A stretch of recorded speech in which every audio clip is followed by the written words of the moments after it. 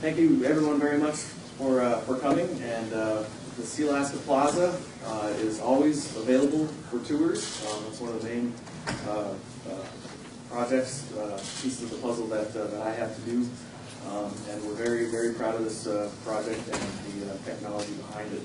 Um, What makes our, our, our grant a little, a little unique to the ETG program is that uh, wood pellet boiler technology has already existed in Europe. Uh, It's been deployed successfully for uh, 30, 30 years already.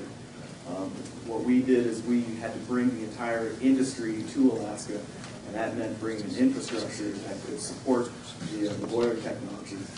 And uh, as soon as we announced that, uh, that we, we got a grant and that we were converting our building, we had four other people, four other entities uh, jump in right behind us and say, okay, since wood pellets are going to be available, then we'd like to convert our buildings too. And that's uh, the Coast Guard in Sitka, the Coast Guard in Ketchikan, the federal uh, government, the the GSA in Ketchikan, and also the Congress Discovery Force Center. Um, So, you know, because the the technology was already proven, it just hadn't showed up in Alaska. So uh, we think that this project is uh, successful before we even uh, commenced uh, digging, doing groundwork on our own project. We're very happy, really happy about it.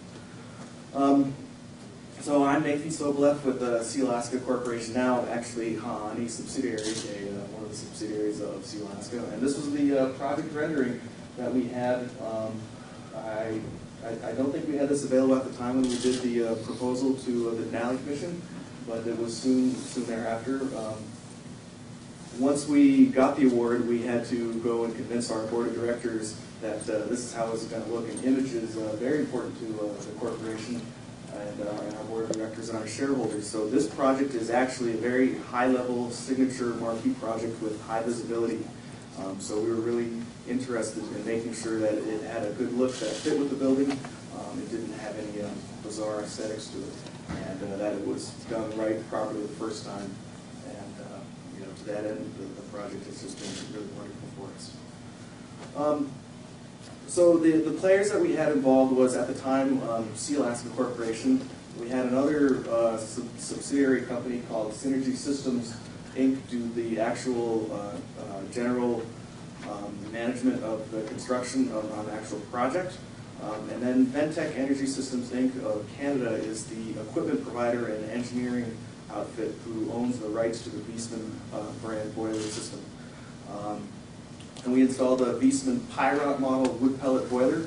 There's over 15,000 of these units in operation worldwide.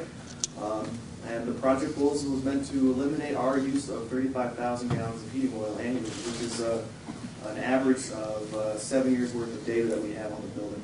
Um, and to prove that the technology is uh, acceptable, ready to roll out into the, the state of Alaska. And ultimately to grow the industry within southeast Alaska such that we could support a um, wood pellet mill within the southeast region by creating the, uh, the consumption demands. Not that um, Sealaska is per se interested in owning a mill, that, that might be the case, but the core of Sealaska has always been uh, land management and timber operations. Um, So this is what our, our wood pellet boiler looks like. Um, These systems are already deployed throughout um, the world. They, they, you know, a lot of people are surprised to hear that these things are in place in hospitals and schools, um, universities and government. And these are uh, industrial-sized boilers. Um, They're, uh, uh, they're very large, they have an appropriate price tag, but they're competitive with oil-fired boilers.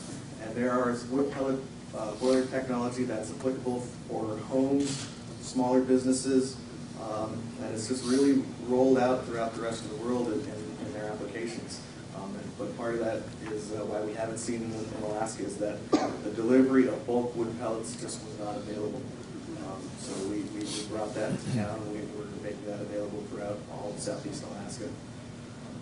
Um, this is just a, a, little technical diagram of how the system operates. Um, the main part that uh, is really interesting is the rotary combustion blower, which produces a, a cyclonic action, so you get really full combustion of the, of the boiler uh, to, to turn all the heat that those pellets produce into, uh, into uh, hot water.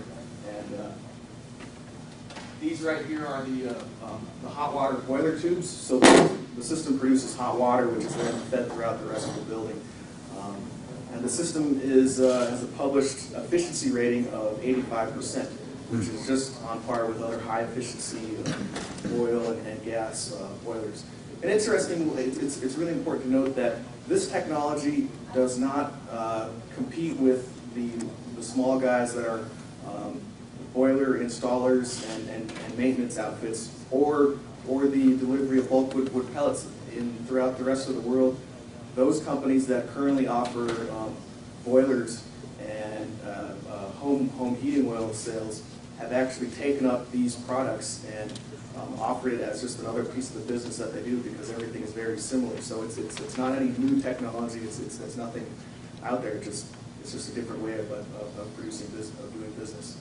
Um, so again, we were meant to grow the, um, the demand for these systems, and we found that the, uh, the, the boiler system here in Juneau, we had a, a savings of, of twenty percent over heating, heating with oil. And Juneau, for a lot of you guys who don't know, has some of the cheapest price of energy within the state of Alaska. You know, at times it may not seem that way, but um, when you levelize the different types of energy out there um, on a per BTU basis, uh, the wood pellets in Juneau have a 20% um, savings. Um, the timeline of this project started out originally before the ETG um, grant was available. Um, I was working in the Natural Resources Department in Sealaska, and we were having discussions with Viking Lumber, a major sawmill within the region. And we were saying, well, you know, are we able to get a pellet mill in here to add some more jobs and to create a, uh, a local product for, for, for heating of our, uh, our regions, and buildings? And it was determined that there just wasn't demand that could support a mill and that they couldn't bring the mill into southeast Alaska without there being the demand of pellets to consume them because the pellets wouldn't be economically, be able to be produced economically such that the mill owner could export those pellets away. way they did. They would have to be consumed within the region. So afterwards, I, I told our uh, executive vice president, Rick, Rick Harris, that, you know, if we're gonna do this, maybe we ought to stick our necks out of there and uh, be the, be the first people we should convert our building. And he said, oh, you're crazy. Come back to me later when you have some money. And, uh, you know, just jokingly, it was only just a couple months later that we, we discovered the ETG grant, and uh, lo and behold, we went and got one. Um, and we had, we were one of the projects that was asked to reduce our funding, and uh, we were, it wasn't a problem, you know, we'll definitely take five hundred and ten thousand dollars over nothing. So it was the alternative, and that actually funded our boiler equipment and the engineering for, the- for the boiler. Um, Then we had the, uh, the news release, and afterwards, it was announced that some of these other inst- institutions were looking at pellets once they realized that Sea was um, seriously considering, or not say at this point, was going to be going with uh, wood pellet heating for our system. And then in May, we brought our, uh, purchased a bulk delivery truck, and uh, then you can see the uh, October 8, we, we uh, set the boiler in place, and we've been up and running since November 19th. This is what the Alaska Plaza looked like before we had the uh, system installed. You could see the uh, two Weil-McLain boiler systems there. Um, They actually had a, I think it was four times the installed heating capacity than what the uh, architects and engineers had originally spec'd out for the uh, plaza. So we had to make a pretty good um, calculation as to what is the appropriate sized uh, uh, boiler. And then you can see the pictures from where our uh, wood pellet silo currently resides. So how did that change the look of the Sea Plaza? It, it works pretty well, but we're still looking at um, using that silo as uh, uh, some kind of a billboard for, for messaging or, or branding. Um, and then this is what the uh, system looks like. It's installed, you know, it's, kind of from about the same the same angles as the pictures of the boiler. And what you see on the left is a, a, a flue gas filtration device which uh, eliminates any particulates from escaping the system when the, uh, the boiler installation. Um, and so this is the Viessmann Pyrot model wood pellet boiler. Um, it's projected to consume 280 tons of pellets um, annually. Um, we're actually finding that they're burning just a little bit less. And when we did this project, we also upgraded a number of the systems, the buildings, uh, heating systems um, that were, were outdated. And the building, when I calculated the amount of pellets that we have consumed um, since time that, uh, um, and the, the heating oil that we would have normally consumed, we've actually reduced our BTU usage um, buy the equivalent of, uh, I think it was like 3,000 gallons worth of heating oil. Um, so for those of you who weren't on our tour this morning, um, I'm available anytime um, to give a tour, but this is just a picture of what the boiler looks like. Wood pellets come in uh, from the right from an auger. They're burned in the firebox, which is this little thing down here in the bottom. There.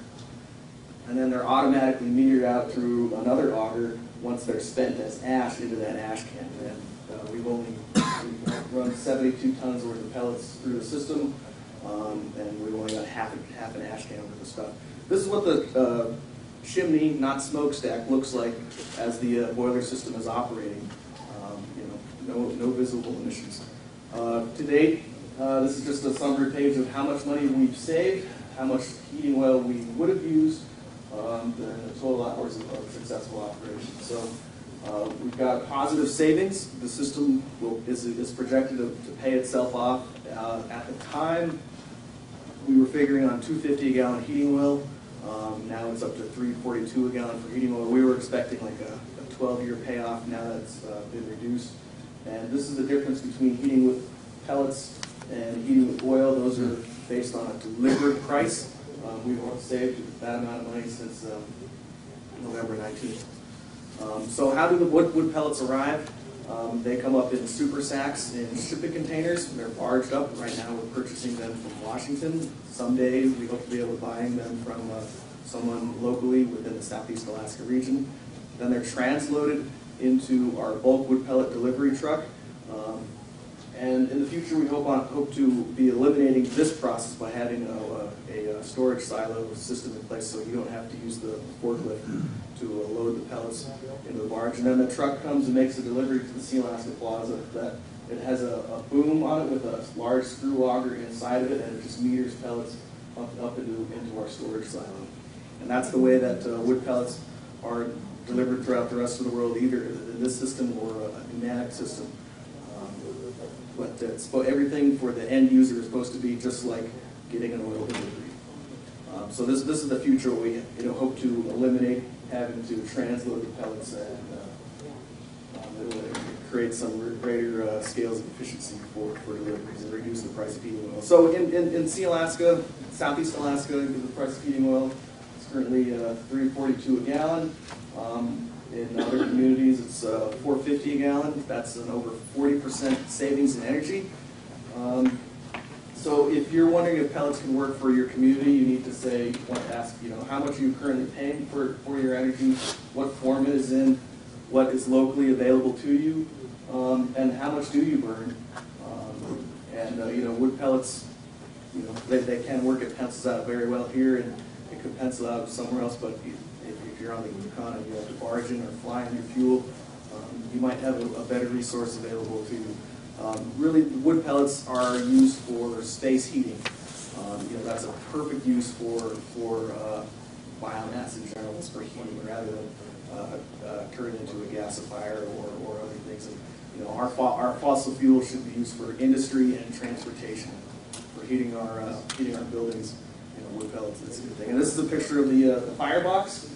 Um, so contact any questions. And um, again, let me let me uh, reiterate the fact that if you want to see this boiler, just give me a call. If